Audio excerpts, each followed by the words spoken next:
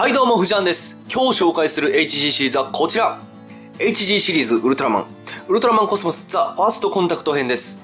はい、これはね、出ましたね。ファーストコンタクトが公開された時期に発売された HG なんですけれども、ラインナップはアストロモンス、ザザーン、ベロクロン、コロナモード、バルタン、ベーシカル、ネオバルタン。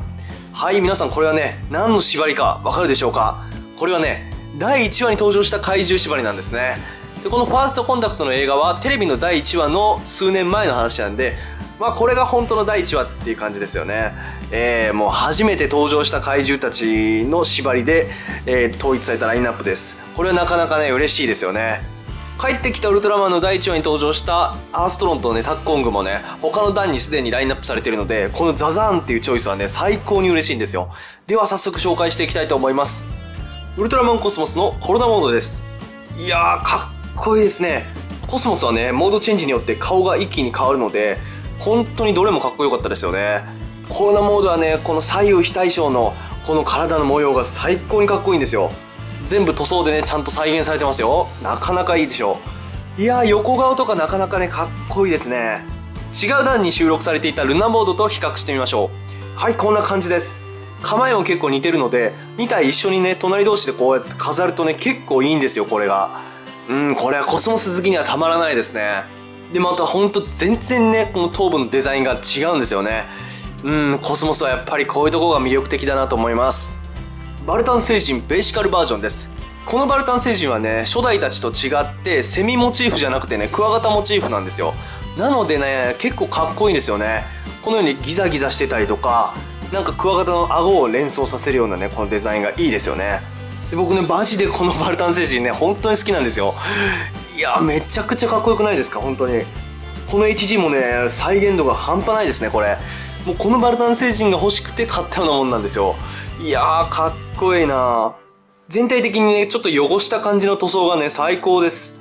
顔もかなり似てますね。いいなでこのバルタン星人はですね強化形態があってそれがこちらのネオバルタンでございます。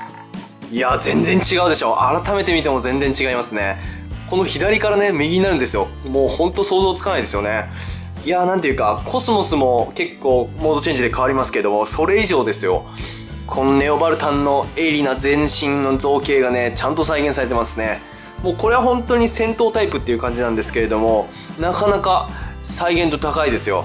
もうこれほんとコスモス好きの方だったらね、買って損はないです、絶対。うん、これほんとおすすめですね。ザザーンです。いやこうやってねコスモス系も充実してるんだけども昭和ファンをも喜ばせてくれるっていうラインナップね今回のこの弾はなかなか最高です。もうザザーンっていうチョイスがね本当にいいですよね。この唇がね結構愛嬌あって可愛いですよね。僕はザザーンね結構可愛くて好きなんですけどね皆さんはどうでしょうか？ちなみにねザザーンのスーツアクターは菊池栄一さんだったんですよ。成形色は黒っぽい茶色っていう感じなんですけれどもその上に緑の塗装をねこうところどころに塗ることによってここまでねリアルに再現できるっていうのがねほんとすごいです。これもちょっとね濡らしたらもっとリアルになるんじゃないかなというふうに思います。はい次はベロクロンです。いやこれは造形が半端ないですねこれ。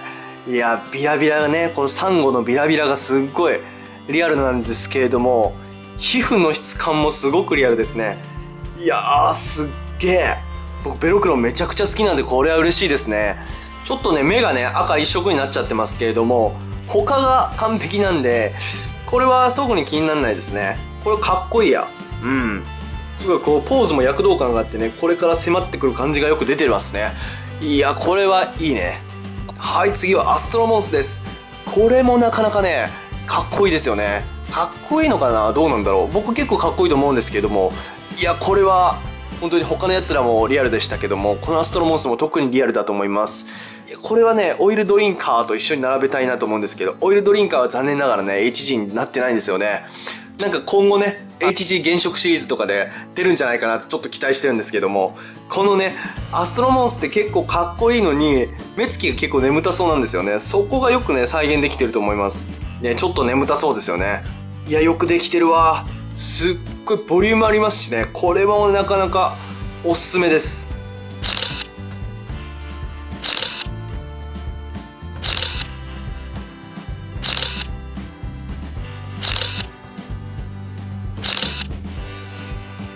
ははい、というわけで今回紹介したのは HG シリーズウルトラマン、ウルトラマンコスモスザ・ファーストコンタクト編でした。これはね、ウルトラマンは1体しか入ってないですけれども、その代わりね、この豪華な怪獣たちが5体も入ってるので、なかなかおすすめですし、コスモスファンにはたまらないラインナップだったんで、これは本当にね、マジでもおすすめです。是非皆さん見つけてみたら買ってみてください。ではまた次回の動画でお会いしましょう。さよなら。